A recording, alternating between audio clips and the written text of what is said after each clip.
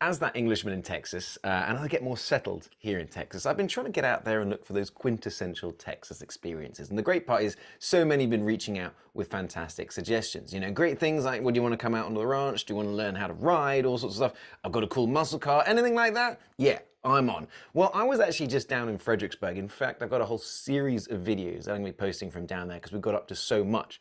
Well, we were invited down by the About Town Wine Experience. Paul and Amy, they were like, well, I tell you what, if you come down, we can show you around Fredericksburg, some great wineries, some great distilleries. We'll get you some great food here or there. And we're like, yeah, that sounds great. But then they followed up with, well, also, Oli, would you, um, would you like to meet some Longhorns? Yes, Yes, I would.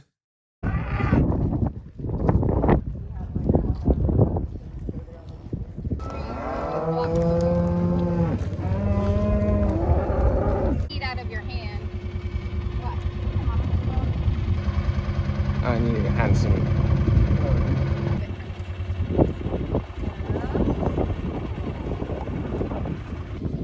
You, sir, are a Texan. And see the trees, they can run through them full steam. They just move their head. Just Really? They really can move. Here, Bubba. No. Me go. Like he loves it when fans like Hey, my baby. Here. Want some?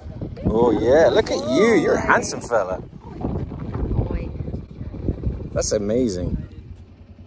As big as you think they look as you're driving past, trust me, when you're standing next to them, they are absolutely gargantuan. There was one or two that were basically the same height as me. So six foot, essentially. I was wearing shoes. I'm five foot 11, but if I'm wearing shoes, I'm six foot, all right? So just get past it. If I was on Tinder, I'd be in loads of trouble. Nobody would want to date me because I'm 5'11. But fortunately, I've been married for 16 years. But I digress. My neighbor James is a very tall fellow. So you can get an idea for just how big these guys are. Especially this one. I think I've only seen a couple on the side of the road when driving. Other than that, I've seen pictures. This is the closest I've ever been up. And they're incredible because you feed them, but you got to step back because once they take it, they're like, woo, woo. He's beautiful. I love the little babies, but they're real skittish. They'll never let you. Right.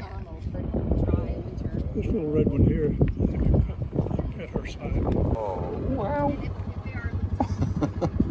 You- I'm just being, I'm saying hello because you're so pretty. wow. It's insane. Like, seriously, their horns are gargantuan. I understand you know that. They're called longhorns, Oli.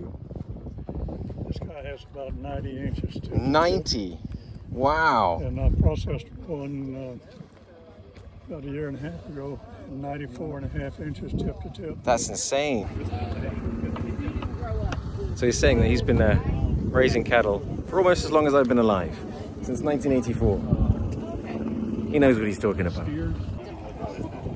On the list of most Texan experiences I've ever had, this might be top. If you haven't had the experience of meeting Longhorns, I tell you what, if you want to, check out About Town Wine Experience in Fredericksburg because they may give you the opportunity to get up close and personal with them. It was fun. She's yeah.